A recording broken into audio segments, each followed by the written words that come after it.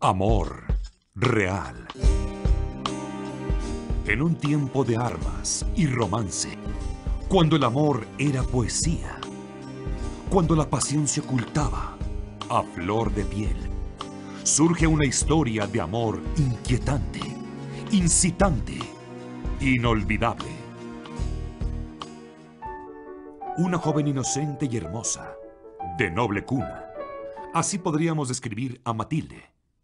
Su madre, Augusta, una dama de impecable elegancia e insaciable ambición, sabe que la única manera de salvar el nombre y la fortuna familiar es casando a Matilde con un hombre acaudalado.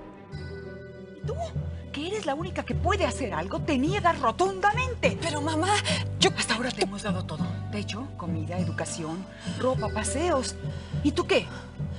¿Vas a dejar que pasemos nuestros últimos años en una miserable casa para soldados? Te tienes que casar, ¿entendiste? Y vas a hacerlo con alguien que nos saque de estos apuros. Es que no puedo, mamá. No puedo. Tienes que poder. Un hombre como Manuel Fuentes, gallardo, apuesto y sobre todo con mucho dinero. Quien desde el primer momento en que sus ojos la miran, no puede acallar el reclamo de su corazón. Pero el corazón de Matilde pertenece a otro, a un joven teniente llamado Adolfo Solís, quien la ama más que a la vida misma, aunque sabe bien que un soldado sin fortuna como él no debería aspirar a la mano de la hija de un poderoso general.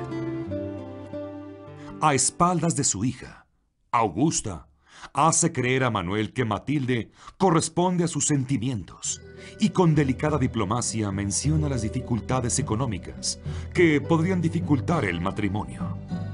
Manuel entiende la insinuación y ofrece pagar las deudas del general. No quiere que tu hermana sepa que va a pagar nuestras deudas, porque desea que lo acepte solo por sus encantos. Eso le dijo. La furia de Augusta no tiene límites cuando descubre el furtivo romance entre su hija y aquel insignificante teniente. Valiéndose de intrigas, logra que sea encarcelado y da pruebas falsas a Matilde de que es casado. Hace cinco años que me casé con el teniente Solís.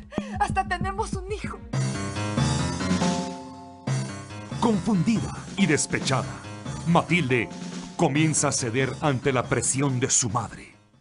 ¿Nerviosa? ¿Asustada? Sí. No tengas miedo, Matilde. Ya te dije que soy un hombre civilizado.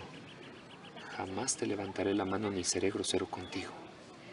De mí solo vas a recibir ternura y cuidados.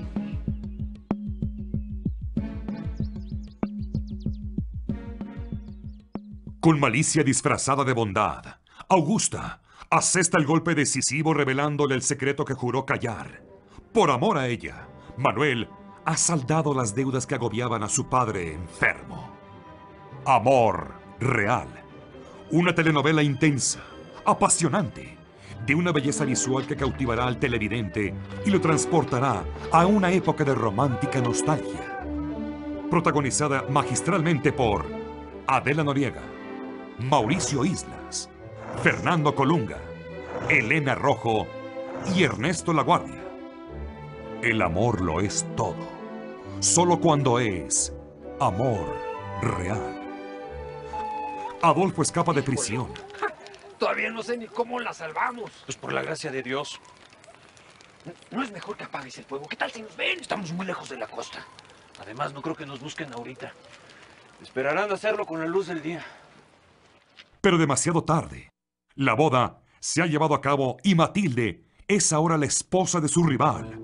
Aún así, Matilde está dispuesta a huir con él. Todavía me amas. Con toda el alma. Entonces vámonos. Vente conmigo ahora mismo. Pero son descubiertos.